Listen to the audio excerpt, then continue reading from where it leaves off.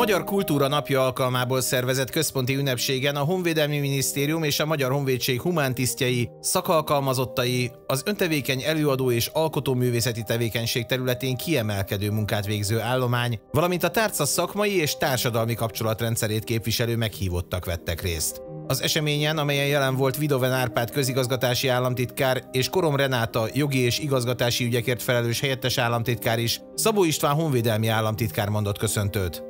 Mint fogalmazott, a magyar kultúra nem kevesebbet jelent, mint ezer éves Kárpát-medencei múltunkat, a katonai eskü pedig ennek a kultúrának a védelmét is magában foglalja. A mi feladatunk és kötelességünk a magyar kultúra megőrzése, ápolása és átörökítése utódaink számára.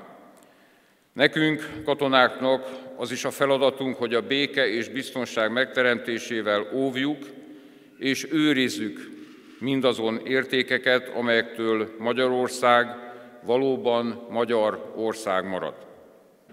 A mi felelősségünk, hogy ezt a ránk hagyott örökséget hogyan adjuk át a következő nemzedéknek. Példát kell mutatnunk azzal, hogy a kultúra értékeit megbecsüljük, törvényei szerint éljünk és tanulságait érvényesítsük.